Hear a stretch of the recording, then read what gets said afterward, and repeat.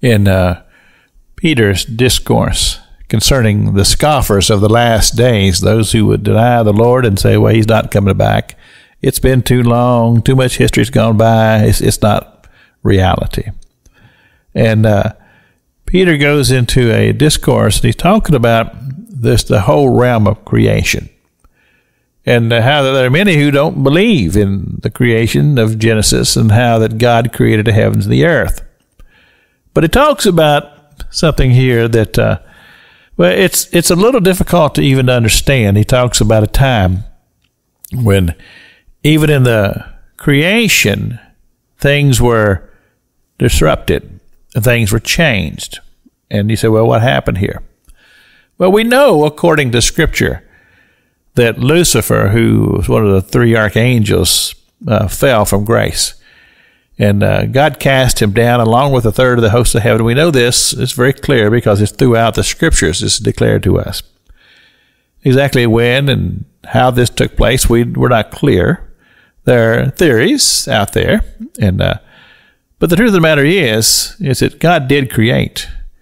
And God is in the uh, uh, part of his plan and understanding that he's given us an entire textbook on the subject of the redemption of man. And he talks about from Genesis to Revelation. This is the whole theme of the Bible is the redemption of man, how man will be redeemed and allowed to live in God's eternal kingdom that we call heaven. And uh, don't mean to over complicate things, but there are many who lack understanding. And of course, uh, Peter uses the word ignorant, just simply means they're just uninformed. And because they're uninformed, sometimes people know just enough to be dangerous.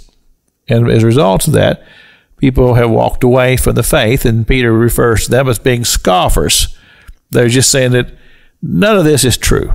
And uh, I've had conversations with people before who are they would describe themselves as being very, very learned. And uh, they know a lot. And uh, talk about being scoffers. They look down their noses at this old country preacher and say, well, you don't know what in the world you're talking about. Well, the truth of the matter is, is that I have the same ability to have knowledge as anybody else, and that's just the Bible.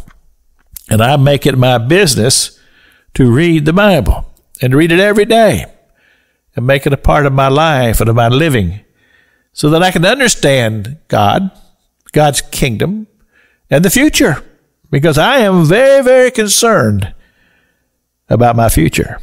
And I'm not just talking about the years that I have remaining here on this earth because that's very short. But I am deeply concerned about my future as it cross over from this world in which I am currently living to that place to where I'm forever with God.